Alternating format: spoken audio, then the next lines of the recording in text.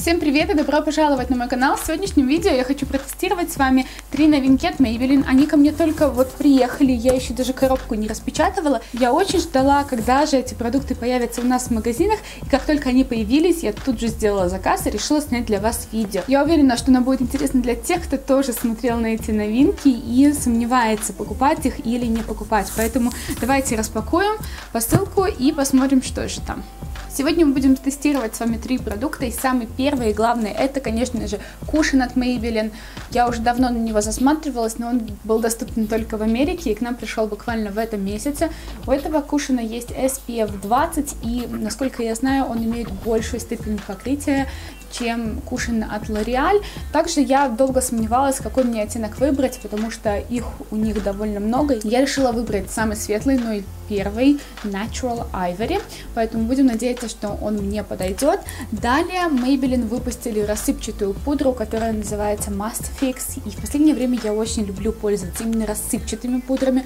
Тут она еще имеет нейтральный оттенок, то есть она подойдет абсолютно всем, она просто беленькая, и мне очень интересно, ну, что она из себя представляет, потому что в масс-маркете не так и много таких подобных продуктов. И последнее, что я увидела на сайте, и мне показалось, что это новинка, это хайлайтер под бровь, который называется Brow Precise, и тут у меня оттенок 02 Medium, насколько я знаю, оттенок шампанского, поэтому давайте будем приступать и тестировать. Начать я, конечно, хочу с тестирования кушина. Давайте посмотрим, мы его с вами сейчас откроем, посмотрим, что там внутри. Ну вот и сам кушин, он выглядит таким образом, то есть обычная стандартная упаковка, как у всех. Тут у нас есть этот силиконовый спонжик, вот такой вот беленький пока что. И, собственно, сам кушен. Мы давайте его вместе с вами откроем и посмотрим, подойдет ли мне оттенок. Вот так выглядит. Так, давайте сначала я сюда просто пальчиком залезу, чтобы посмотреть на оттенок. Ну, несмотря на то, что написано, что 01 Natural Ivory, да, он, он довольно желтоватый. Если честно, не такой он уже светлый. То есть я даже не знаю, как они распределяют свои оттенки. Надо было бы сходить в магазин и именно посмотреть там. Но я заказывала онлайном. Знаете, если честно, он не кажется таким светлым. Поэтому давайте наполовину лица я нанесу кушан при помощи плотной кисти и уже наполовину при помощи родного спонжика довольно хорошо отдает сам тональный крем, то есть губка хорошо так пропитана. Ну и давайте смотреть. Вот, наверное, сейчас вам будет лучше виден оттенок, кстати, но мне он в принципе подходит. Да, тут покрытие гораздо более плотное, если честно. Вот я сразу вижу, что покрытие плотноватое. Ну и давайте распределять по коже лица, чтобы вы сами наглядно смогли посмотреть, что он из себя представляет, что он прикрывает, что он не прикрывает. У меня, если честно, даже нету тональных кремов от Maybelline, по крайней мере, я не могу вспомнить, чтобы у меня они были. Поэтому, конечно, интересно мне попробовать. Так, конечно же, захожу на зону шеи у нас все сливалось хорошо. Так. Лоб я покрою кистью просто. Ну вот, посмотрите, вот вам сторона вместе с кушоном, с тональным кремом, с таким. И эта сторона у нас пока что без какого-либо покрытия. Ну, ну, что я могу сказать? Так, при помощи кисти действительно такое плотное покрытие. Первый оттенок не такой уже светлый, если вы еще светлее, чем я, то он вам будет темноват.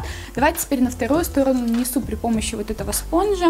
Как я и сказала ранее, этот продукт, вот эта губка хорошо пропитана, то есть буквально с одного касания вы получаете очень много тонального крема. Допустим, в других кушинах нужно постараться, чтобы набрать. И вот видите, насколько, не знаю, видно на камере, не видно, насколько оттенок действительно такой даже немножко рыжеватый, что ли. То есть он действительно не такой светлый, если честно.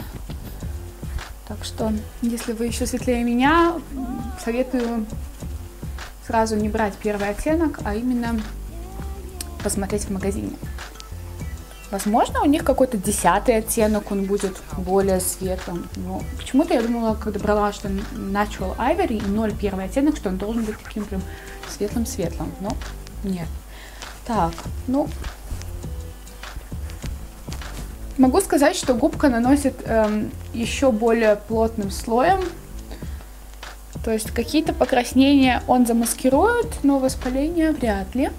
Среднее покрытие, я бы даже сказала, не легкое, не супер плотное, но среднее, довольно живое. То есть э, могу ну, видеть, что не особенно где-то скатывается. Красиво, в принципе, ложится, но вот если бы не оттенок, все-таки мне хотелось бы посветлее. Тут же все-таки немножечко просвечиваются какие-то небольшие пятнышки, то есть действительно покрытие не такое плотное, но и не совсем легкое, оно гораздо более плотное, чем у Кушина от L'Oreal, поэтому если вам L'Oreal не подходил из-за того, что он был такой сияющий и совсем прозрачный, то посмотрите на этот Кушин, потому что он более плотный и он и не матовый, и не свечащийся, то есть такой натуральный эффект на коже получается. И если у вас сухая кожа, то я бы, наверное, даже не припомнила припудривала. Вот. Что касается оттенка, я его смогла растушевать на своей коже, но если у вас кожа более светлая, светлее, чем у меня, то присмотритесь к какому-то более светлому оттенку. Теперь давайте посмотрим на пудру. Рассыпчатая пудра. Сейчас мы ее вместе с вами откроем. Так, тут у нас нет никакой пуховки, тут у нас эм, с одной стороны вот такие вот дырочки, и это заклеено сейчас, потому что пудрочка новая, пленочкой. Мы ее сейчас уберем вместе с вами. Вот так вот. И, как я понимаю, нужно немножечко высыпать на крышечку. И давайте сначала более маленькой кистью я закреплю тональный крем и консилер под глазами и посмотрю, насколько приятная эта пудра. Так. Я всегда закрепляю свой тональный крем или консилер под глазами при помощи прозрачных пудр. Поэтому, конечно, интересно посмотреть. Так, ну, кожа довольно гладкая. Тут пудра мелкого помола, она действительно очень нежная. Так, и теперь я бы вообще не закрепляла этот кушан, но возьму кисть побольше и нанесу уже эту пудрочку на все лицо. И опять же, от таких пудр мне очень нравится чувствовать эффект такой выглаженной кожи, сглаженных, затертых пор. Поэтому сейчас нанесем чуть-чуть. Посмотрим на эффект. Так, берем зеркало и ощущение приятное. Очень приятный пудра. Чувствуется, что пудра очень мелкого помола, она очень нежная. Мне напоминает на пудру от Innisfree именно из-за того, что она такого мелкого помола, как мука. Не знаю, конечно, как моя кожа будет вести себя дальше.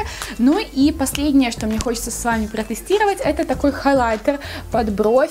Для тех девчонок, кому нравится высветлять свои брови а, там консилером или еще какими-либо хайлайтерами, Maybelline выпустили вот такую вот штуку. Я, насколько я знаю, она идет в трех оттенках, она выкручивается, у нее вот такой вот, точнее у него, у этого хайлайтера вот такой вот интересный срез. Посмотрим, что у нас тут за оттенок такой. Оттенок очень напоминает консилер, и он абсолютно не сияющий. То есть, насколько я понимаю, им нужно все-таки осветлять эту зону, как-то подчеркивать. Так, наносим под бровь, и я буду пальчиком растушевывать. Вот так. И на вторую. Конечно, прикольный срез, но мне бы хотелось, чтобы он был немножечко поменьше. Я бы советовала все-таки наносить до нанесения теней. У меня сейчас сделан макияж глаз и немножечко задевает, смазывает мои тени. Но оттенок, как я сказала, очень натуральный. Не знаю, вот, возможно, стоило взять оттенок посветлее, но он абсолютно матовый. Возможно, почищать как-то то, что вы нарисовали на своих бровях. Очень даже. Так. Я не знаю, заметили вы какой-то результат, потому что мне напоминает эта штука какой-то просто консилер, и я не уверена, что стоит на это тратить деньги. Короче, давайте еще нанесу помаду, которую я вам тоже показывала. Это помада от Maybelline, оттенок 987 из матовой линейки. Очень приятная. Ну, раз мы тестируем новинки от Maybelline, эта помада тоже вышла, именно этот оттенок, не так давно. Поэтому наносим.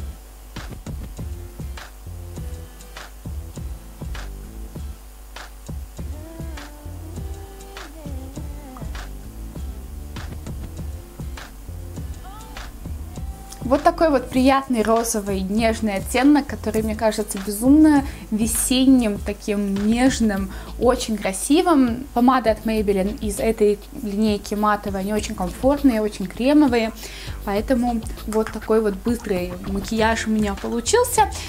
Новинки, конечно, очень интересные, я очень рада, что Maybelline настолько активные, они следят за трендами, выпускают то, что нам, девочкам, интересно, то, что выпускают более дорогие бренды, но для нас они делают это более доступным, и Кушан мне, в принципе, понравился, он очень приятный, единственное, подберите для себя правильный оттенок, потому что этот, ну, на лето, наверное, будет мне хорошо, но на зиму он мне будет определенно очень темным, но если отбросить именно оттенок. Могу сказать, что приятный, с хорошим покрытием. Единственное, что все-таки я бы советовала использовать чуть-чуть, наносить тонким слоем, потому что может немножечко скатываться в какие-то складочки, морщинки. Поэтому наносите тонким слоем, но определенно это классная новинка. Сейчас у нас в магазинах этот кушан по скидке. Я оставлю ссылки, где я заказывала эти новинки. И, возможно, если вы живете в Англии и хотите пробовать эти новинки, то вам будет полезны эти ссылки. Я надеюсь, что вам понравилось это недолгое, быстрое видео, но действительно очень хотелось поделиться с вами этими новинками, протестировать их. Знаете, вот Такое ощущение, что ко мне пришла подружка в гости, мы распаковали эту посылку с новинками и сидели вместе красились. Мне такие видео очень нравятся, и я надеюсь, что это видео и вам понравилось. Огромное спасибо, что нашли время посмотреть сегодня это видео. Не забываем заглядывать на мой инстаграм, там всегда новые фотографии. А с вами я увижусь очень скоро в новом видео. И следующее видео у нас будет про уход э, за кожей лица, поэтому я уверена, что вы тоже найдете его полезным. Ну что, до новых видео, всем пока!